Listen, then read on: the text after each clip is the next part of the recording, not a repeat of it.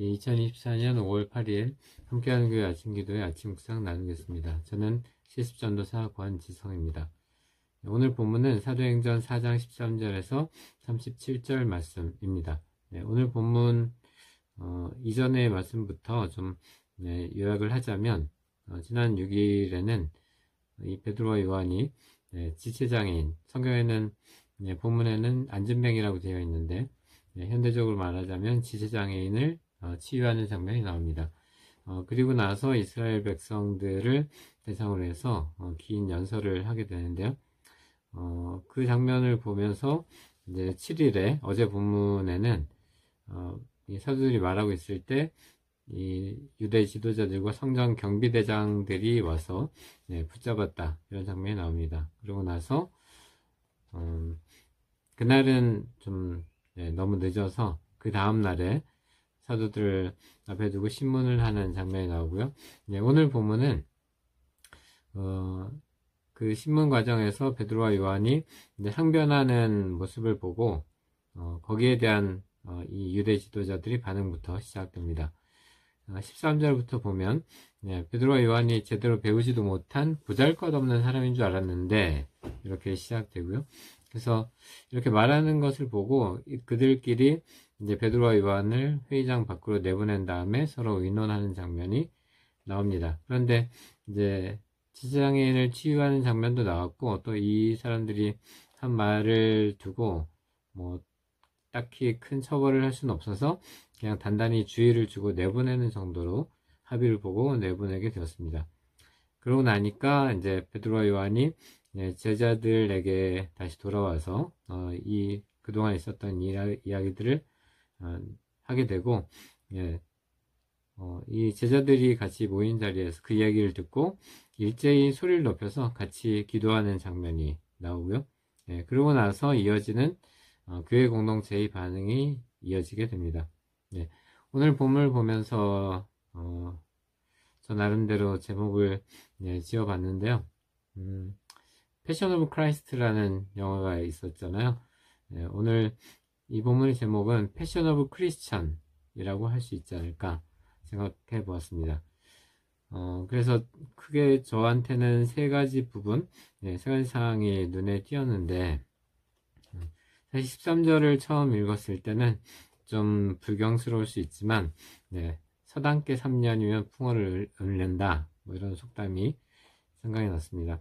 그러니까 베드로와 요한은 아시다시피 정말 배우지도 못한 보잘것없는 사람이었지만, 어, 3년 동안 예수님을 따라다니면서 어, 많은 것을 보고 듣고 네, 하나님이자 하나님의 아들인 네, 예수 그리스도를 따라다니고 같이 생활하면서 음, 진리 본질을 깨닫게 된 거죠. 그래서 뭐 다른 것들을 배우고 말고 할 것도 없이 이 진리 하나만을 가르치는 것만으로도 담대하게 이제 설교를 할 수 있게 된 것입니다. 아마 3년 동안 뭐 특별히 똑똑해지지는 않았을 것 같아요. 그렇지만 진리 한 가지를 분명하게 알고 네, 그것을 자신의 경험을 토대로 전할 수 있게 되었고 또 3년 동안 예수님의 말씀을 계속 들었으니까 그것만으로도 음, 어떻게 이 복음을 전할지를 알게 된 것 같습니다.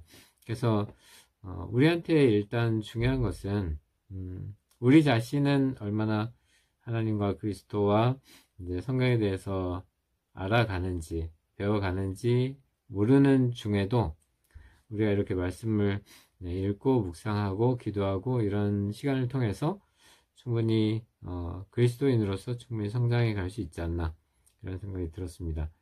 네, 두 번째는 네, 오늘 어, 13절 37절 본문에 저는 눈에 띄는 단어가 담대하게 인데요. 13절과 어, 29절 그리고 31절에 어, 세번 담대하게 라는 표현이 나옵니다. 네.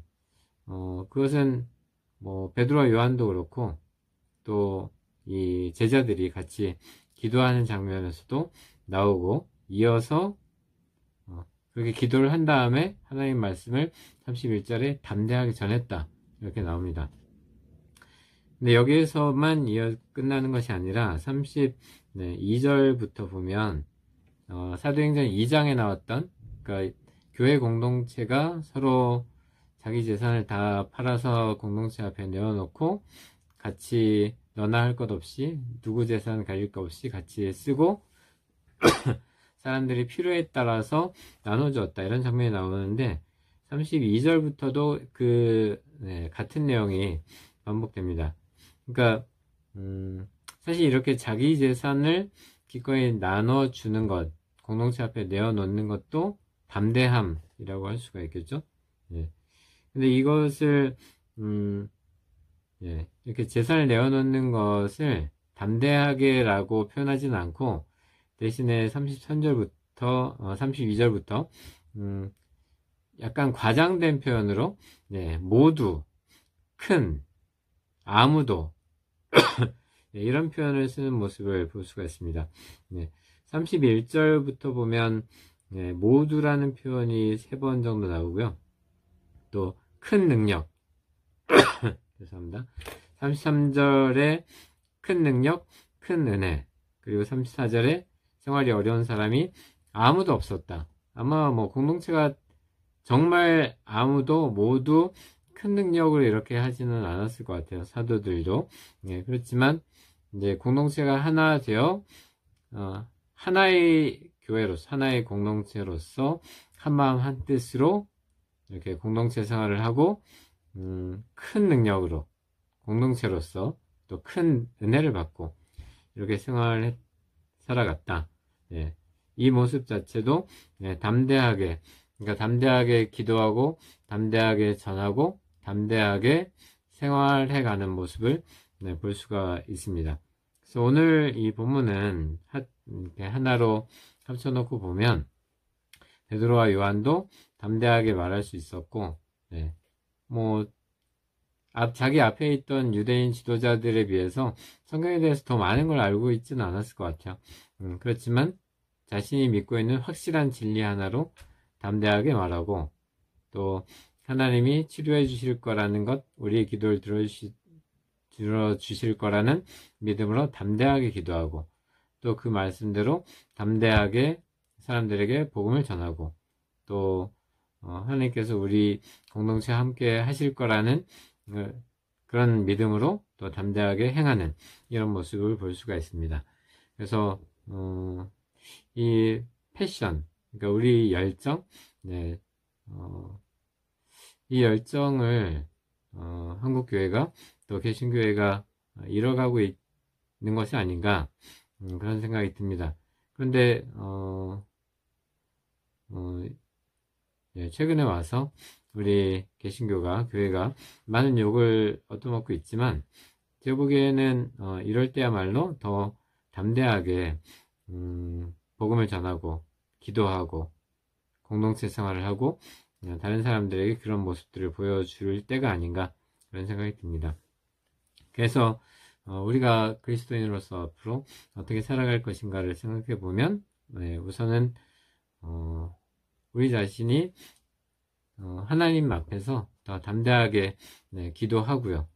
또 다른 사람들에게 이 예수 그리스도의 복음을 담대하게 전할 결심을 갖고 같이 기도하고 또 실제로도 전할 수 있으면 좋을 것 같고 그리고 어, 어, 이 사도행전 4장과 3장 이 이전부터 보면 어, 사도들과 이 공, 교회 공동체의 모습을 통해서 많은 사람들이 예수 그리스도 앞으로 네, 돌아오게 됩니다.